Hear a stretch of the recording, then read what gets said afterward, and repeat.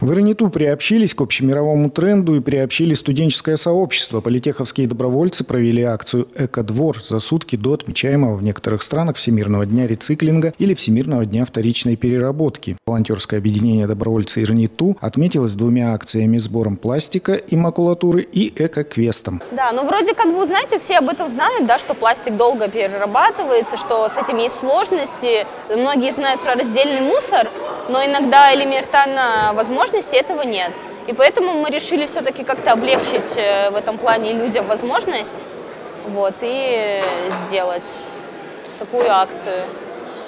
В прошлом учебном году облегчили нагрузку на мусорные свалки на 200 килограммов только одной бумаги. В этом хотят побить собственный рекорд и настраиваются на ежесеместровые акции. За проявленную гражданскую сознательность участники вознаграждаются вкусной мандаринкой. Хочется, чтобы люди чувствовали, что не просто так они приносят. Но все равно людям, мне кажется, приятно, когда они приносят им что-то такое вкусное. Все равно, и тем более витамины, скажем так, это тоже своеобразный плюс. Кроме заряжающей перед занятиями порции витамина, организаторы акции помогали ее участникам пополнить багаж экологических знаний через небольшой тест.